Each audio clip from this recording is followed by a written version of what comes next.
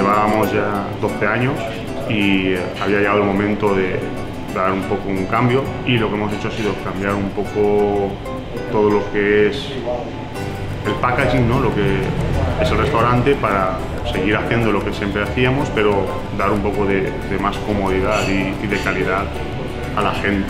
Nosotros en lo que es el tema de comida y servicios seguimos siendo igual, por los fines de semana carta y ahora hemos hecho una barra que podrán comer unas seis personas, una forma un poco más como a mí me guste, pues intentaremos volver a darle una forma diferente de, enfocar lo que es nuestro restaurante.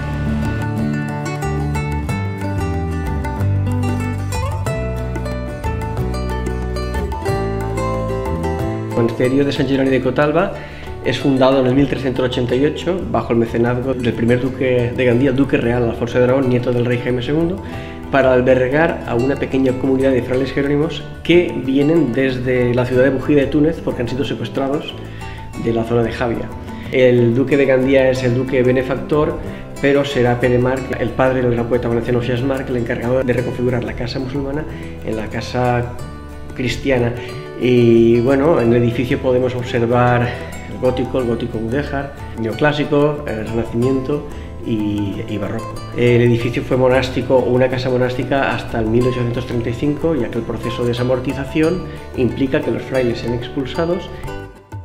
Aparte de toda la programación cultural que a lo largo del año vamos haciendo, realizando en el monasterio, estamos organizando una serie de conciertos. Ciertamente este, este año tenemos dos en julio y tres en agosto y bueno, hemos de agradecer a, a nuestros colaboradores y patrocinadores, entre ellos por ejemplo a Caixa Popular.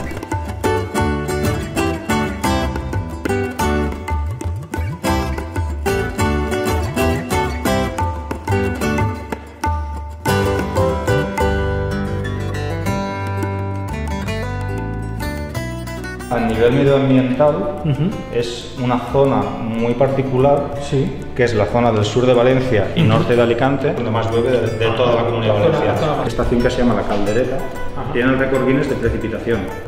Estamos en, en, una cueva que es un, realmente un abrigo de montaña en el que se han encontrado gran cantidad de arte paleolítico de la época del Paleolítico Superior. Hay una serie de características que la hacen especial. Una de ellas es su ocupación, el largo periodo de ocupación continuada que tuvo la, cueva, más o menos desde hace 10.000 años hasta hace más o menos 23.000 años. Podemos distinguir el arte mueble y el arte parietal, todo lo que son herramientas, puntas de flecha, armas, arpones. Entonces tenemos industria lítica por un lado y después tenemos el arte mueble que representan las plaquetas. Las plaquetas es una representación artística de sus inquietudes.